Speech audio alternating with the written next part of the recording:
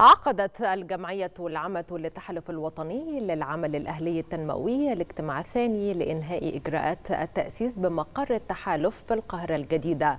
اعتمدت الجمعية العامة خلال الاجتماع النظام الأساسي واللوائح الداخلية وخارطة طريق استراتيجية لعمل التحالف الوطني 2024-2030